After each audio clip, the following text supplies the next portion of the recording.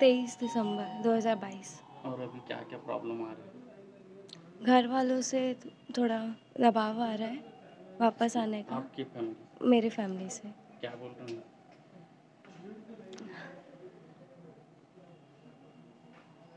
तो बताओ ना मतलब किस टाइप का दबाव आ रहा है?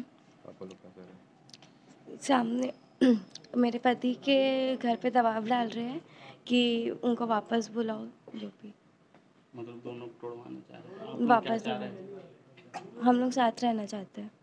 अपनी मर्ज़ी से शादी की हम आप आज का जो ग्रंथ है मामला उसके बारे में बताइए। दुर्ग से हमारे पास ये एक मामला आया था जिसमें दोनों बच्चे बालिग थे और उन्होंने अपने मर्ज़ी से विवाह किया था परंतु जो लड़के की माँ है उसने एक आवेदन प्रस्तुत किया था कि उसे डराया धमकाया जा रहा है।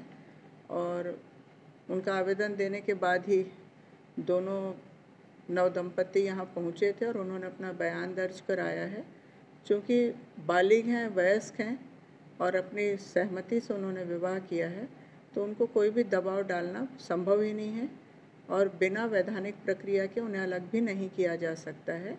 इसलिए बयान दर्ज कर लिया और मामले को फिर नस्तीबद्ध भी किया। यदि कोई भविष्य में उन्हें परेशान करता है तो ऐसी दशा में वो आयोग के सामने आने के लिए स्वतंत्र रहेंगे। एल ज़िंदगी के साथ भी, ज़िंदगी के बाद भी।